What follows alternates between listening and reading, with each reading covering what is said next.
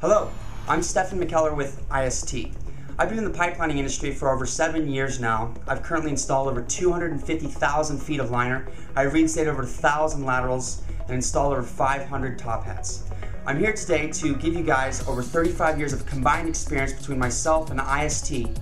I know as a new company you go through a lot of technicalities and uh, potential pitfalls and we're here to help you overcome those. So thanks for stopping by, and once again, go ahead and put your email information and your name in the box below and click the button. We'll send you that free report on 20 frequently asked questions that you must know if you're interested in getting in the pipelining industry.